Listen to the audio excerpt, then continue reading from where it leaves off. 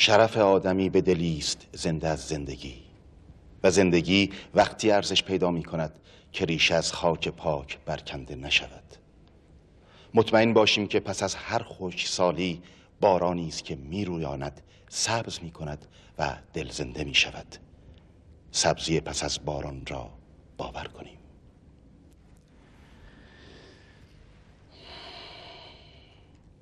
بند سراپا گوشم. بفرمایید.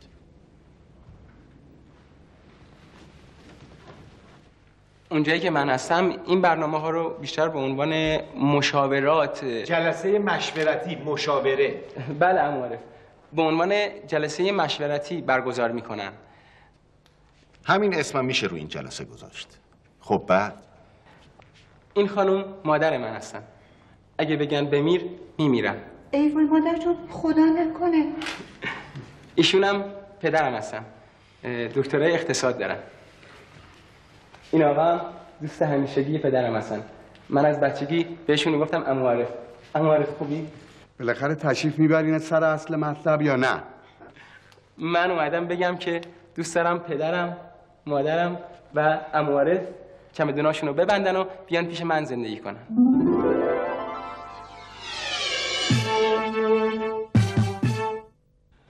اجازه بدید من توضیح بدم. این علی آقای ما همیشه شاگرد اول بوده. چون شاگرد اول بوده از بورس ویژه دانشگاه استفاده می‌کرده. و چون از بورس ویژه دانشگاه استفاده می‌کرده و به درد بخور هم بوده برای مغزش کیسه دوختن. همین. اما عارف دیگه اصلاحات خاص خودشو داره. اصطلاحات خودشو پدره آقای داور این بچه من البته این آقای دکتر جوون اگرچه توی بیانش یه مقدار دچار مشکل شده ولی باور کنید که سخت به من و پدرش یعنی خانوادهش وابسته است. مطمئن باشین که به جامعه و مملکتش هم همینقدر وابسته است. ببخشید جناب داور خانم من یکم ترسیده. نه من نترسیدم فقط یه مقدار نگرانم. اما خانم کریمی این شاگرد اول دانشگاه و آقای دکتر نه تنها نگران نیست بلکه امیدوارم هست. فقط جای ایستادنش هنوز پیدا نکرده. باید دید نظر خودشون چیه؟ شاید غیر از این باشه. آقای داور پدر و مادر من در تمام سالهای کودکی تا مدرسه و دبیرستان از زندگیشون مایه گذاشتن تا من وارد دانشگاه بشم.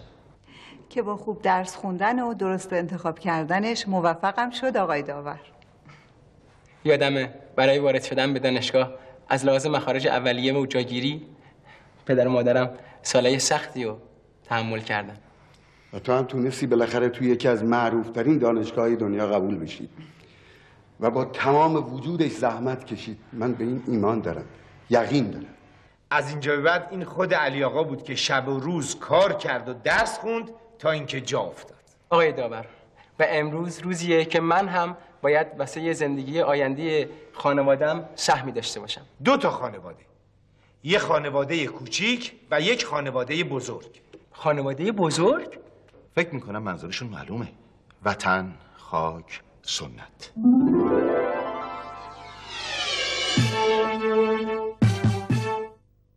خب علی آقا آقای کریمی حالا که دکتر شدین برنامهتون چیه؟ مثل همه کار زندگی و آینده. خب کجا؟ مگه کجاش مهمه؟ اصل قضیه همینجاست. اونجایی که باید بیستی. جای ایستادن خب معلومه. توی بانک به عنوان مشاور اقتصادی مشغول کار شدم. و حالا به فکر افتادی که خانواده کوچیک تو ببری به یه کشور دیگه درسته؟ مگه ایرادی داره؟ نه ابدا. ولی اگه قرار شه هر کسی در هر جای دنیا به یه موفقیتی دست پیدا کنه بیاد و خانوادهش جمع کنه ببره وقت اینجا کی باقی میمونه؟ اما پدر سه نفر از بین 60 میلیون 70 میلیون مثل یک چی میگن؟ یک در یک قطره است میونه یک دریا. خب اگه این قطره به قطره ها تبدیل بشه چی؟ ولی من به وظیفه خودم عمل می‌کنم. فکر نمی کنم کار بدی کرده باشم. ببخشید اجازه می‌دید که من با زبون خودش باهاش صحبت کنم؟ ولی مادر تو که همیشه طرف من بودی. همیشه با من موافق بودی. آره با تو با پدرت با دوست همسایه قوم و خویش ببین علی یادته وقتی بچه بودی تا برات قصه بز زنگوله پا رو نمی‌گفتم خوابت نمی‌برد؟ آره آره یادمه. خیلی خوب. تمام اون قصه ها مربوط بود به همین آب و خاک. این آب و خاکی که توش به دنیا اومدی بزرگ شدی. این قصه هایی که گفتی اون- قصه قلقله کدو قلقله کدو قلقله اون گن- گنجشکک اشی مشی و من یادمه. اون گرگه اون گرگه بود می‌رفت دنبال اون بره میخوردش. همه اینا رو من یادمه. ببین علی جون نه فقط اون قصه ها هوایی که تنفس می‌کردی غذایی که میخوردی حتی اون نونای داغی که دم صبح از بازار تجریش واسد می‌گرفتم همش مال همین آب و خاک بوده. اما عارف اما عارف. دیگه کار داره به نصیحت می‌کشه. دیگه همه جهانی فکر می‌کنن. دنیا شده مثل یه دهکده بزرگ به اسم کره زمین. نه پسرم نصیحت نیست. یادآوریه. مادرت هر روز هنوز تو اتاق کوچیکت اسباب بازی های تو رو تو قفسه گردگیری می‌کنه. اما من بزرگ شدم. اونجایی که من زندگی می‌کنم دیگه اسباب بازی بچه هاشون شده کامپیوتر و توی کتاباشون راجع به فضا می‌خونن. برای همینه که زمین رو گم کردن. بچه های تو باید با اسباب بازی های تو بازی کنن. و البته با کامپیوتر و قصه های فضایی اما با اندیشه های خاص این آب و خاک. شما هم که دارید نصیحت می‌کنید. این که به فکر پدر و مادرم هستم اشتباهه؟ اتفاقا نه. چون به فکر اونا هستید نشون میده که میشه باهاتون بحث کرد. من نمی‌فهمم. احتیاج به بحث نیست. این مشاورت را هم برای مشاورات نه مشورت. بله مشورت رو هم قبول کردم. چون احساس می‌کردم به یک نتیجه می‌رسیم. خیلی خوب. پس داریم به نتیجه می‌رسیم ها؟ من می‌خوام ببینم اصلا چطور شد این فکر به سر زد که من و پدرت هر چی اینجا داریم به پول تبدیل کنیم بلنشیم بیایم اونجایی زندگی کنیم که تو فکر می‌کنی خوبه. خب واسه اینکه کنار هم باشیم هر سمون من کار کنم و خیالم راحت باشه از اینکه پدر و مادرم پیش خودم زندگی می‌کنن. ایرادی داره مگه؟ امو مگه پدر مادرت از وضع موجودشون گله دارن؟ خب نه. ولی من که چشم دارم می‌بینم. می‌فهمم کجا واسهشون بهتره راحت تر زندگی می‌کنن. نظر شما چیه راجع به این فداکاری بزرگ؟ نظر منم همینه. باش مخالف نیستم. خب حالا چی میگین اما عارف اگر واقعا فهمیده باشه که کجا برای من و مادرش و خودش بهتره این ایدئاله ما هم همینو می‌خوایم. گفتم که. من فکر می‌کنم هنوز صحبت پدرتون ادامه داره. ببخشید آقای داور. منم دکترام خارج از کشور گرفتم. ولی تشخیصم این بود که بیام تو این مملکت بمونم خدمت کنم و ادامه بدم. چی رو ادامه بدید پدر؟ چی رو ما در زندگی رو؟ کار رو تشکیل زندگی رو و در نهایت تولد پسر کوچیکی که به امید خدا و به همت و کوشش پدر و مادرش امروز برای خودش کسی شده و سری تو سر رو در آورده.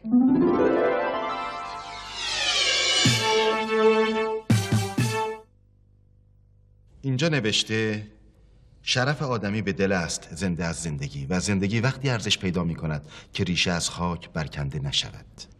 نامه های امو عارف هم که می‌رسید. آخر هر نامش یه دونه از این جمله ها بود. باورشون هم می کردی؟ آره همشونو باور می‌کردم. من و امو عارف یه دنیای شیرین کوچولو داشتیم. علی.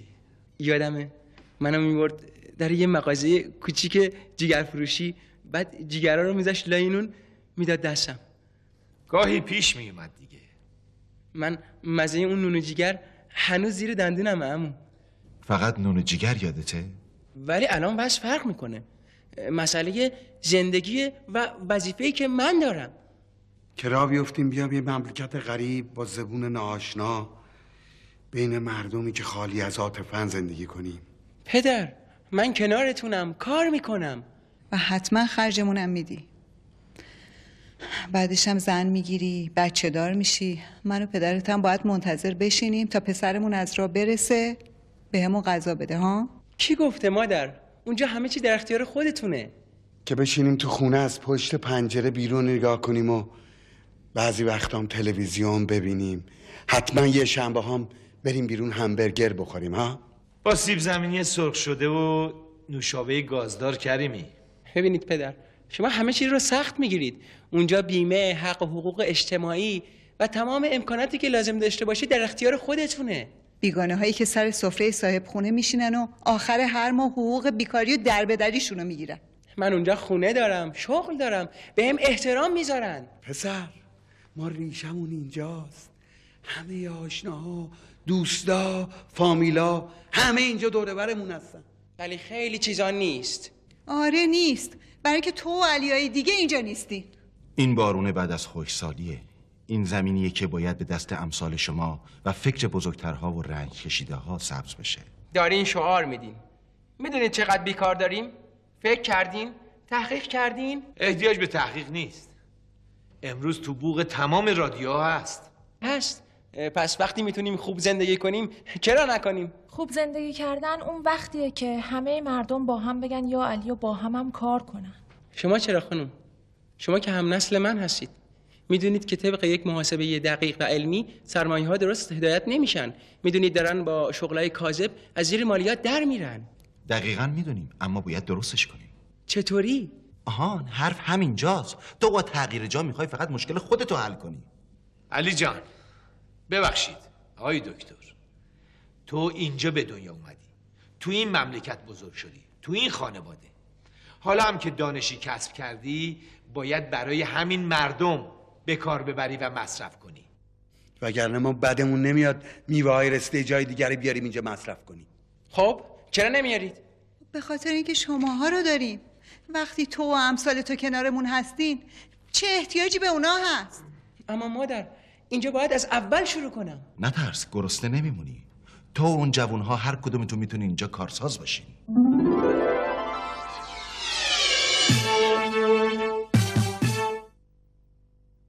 می‌بینین اینجا کسی به شما زور نمیگه. می‌خوان اگر سازندگی هست اگر زندگی هست اگر امید هست همه با هم باشین. برای این کارا وقت هست. چی داری میگی مادر جون؟ همین امروز هم دیر شده. تو به جایی که من و پدر تو مثل دوتا موجود مزاحم ورداری ببری جایی که تو فکر می‌کنی خوبه بیا همینجا. همینجا کار کن. ازدواج کن. فعالیت کن. خونواده تشکیل بده. کار کن. یه قسمت از این خاکو تو سبز کن. اما عارف سرشناسترین دکترا کارخونه دارا سرمایه دارایی که اونجا زندگی می‌کنن می‌دونید ایرانی هستن؟ می‌دونید؟ چرا نمی‌دونیم؟ اما با خالی کردن این خونه قدیمی پر از مهر و صفا فکر نمی همه چیز خراب بشه. آقای دکتر اینجا پدر مادرایی بودن که برای حفظ همین خونه قدیمیشون جوونایی مثل تو رو هدیه دادن. می‌دونی بین اونا چقدر دکتر و مهندس و ورزشکار و اهل کار و زراعت بودن؟ تو پسر جوون و تحصیل کرده همون پدرها و مادرها هستی. سه نفرشون از بچه های رفقای من بودن که با بچه های من سر یک کلاس پشت یه میز میشستن درس میخوندن. من میترسم. اگه موفق نشدم چی؟ اگه اینجا تو وطنت میون همین مردم اینجا اگه شاگرد اول شدی درسته. نترس. آدم تو خونه خودش باید با بد خوب بسازه و اونو آبادش کنه.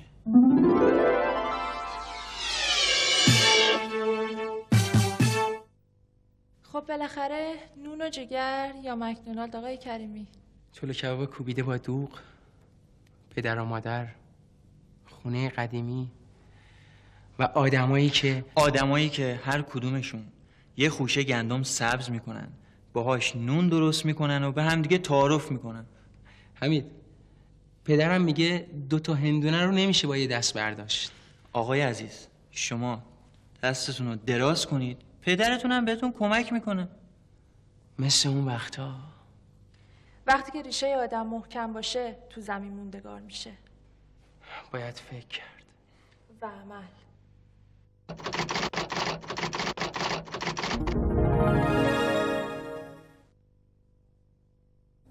شرف آدمی به دلی است زنده از زندگی. و زندگی زمانی ارزش می‌یابد که بیش از خاک پاک برکنده نشود. مطمئن باشیم که در پس هر خشکسالی بارانی است که میرویاند سبز می‌کند و دل زنده می شود به یاد خدا. سبزی پس از باران را باور کنید خب نویسنده این قصه با گفتاری نقض و شیوا داستان این برنامه رو آغاز کرد. به راستی آیا به این مسئله فکر کردیم که ما مدیونی که هستیم؟ اصلا دین یعنی چه؟ در فرهنگ ده خدا در مقابل این کلمه آمده وام گرفتن و مقروض شدن. با این تعریف آیا شما دینی به کسی یا چیزی ندارین؟ نه شکر خدا به اندازه درآمدم توقع دارم. به همین دلیل هیچ وقت زیر بار قرض کسی نرفتم. تا سه پیش به خاطر وام مسکن به بانک مقروض بودم. اما نمی‌دونم میشه به این دین گفت یا نه. خب همین چند تا پاسخ نشان میده که تعریف و تعبیر ما از واژه دین چقدر گسترده و وسیع است. در افواه عمومی معمولا دین رو در برابر بدهکاری قلمداد می‌کنند. اما بیایم برای لحظه تعریفی وسیعتر به دین بدیم. راستی آیا ما به خودمون یا جامعه یا مردم مدیون نیستیم؟ این سال رو من همین امروز از یکی از دوستان که کتاب فروشی است در خیابان انقلاب پرسیدم. اشک تو چشماش حلقه زد و گفت دست روی زخم دلم گذاشتی. موضوعی که مدت هاست با اون کلنجار میرم تو امروز به رخم کشیدی. چطور میشه گفت که کسی نیست که به اون مدیون باشیم؟ اونایی که چند ماه پیش تو همین خیابون دانشگاه روز جمعه تو نماز جمعه شرکت کرده بودن دیدند که ما هنوز مدیونیم. مدیون هزار لاله خونیم که بعد از سالها به میهنشون برگشتن. و اشک گونه های این دوست رو خیس کرد. سرش رو پایین انداخت و ادامه داد ما به اونها مدیونیم ما به امام مدیونیم ما با آزادی و جانبازان انقلاب مدیونیم ما به اسلام مدیونیم. پرسیدم چرا احساس دین به اونها می‌کنی؟ گفت اگه اونها نبودن اون روزهای سخت جون عزیزشون رو اونطور ساده فدا نمی کردن ما نمی‌تونستیم امروز اینطور آرام و بی دقدقه تو همین خیابون قدم بزنیم دوست من می‌گفت من فکر مشکلات و سختی های زندگی خودم نیستم. من خودم هشتم گروه نو همه. اما با همه این سختی ها جوهر این جامعه و ما این جوهر رو به خاطر خون شهدا داریم. پس احساس دین می‌کنیم چون نتونستیم به اندازه اونها برای این مردم و اهداف و ختمش های رهبر این مردم فداکاری کنیم. بله. این هم یک تعریف از مدیون بودن و دین داشتن است.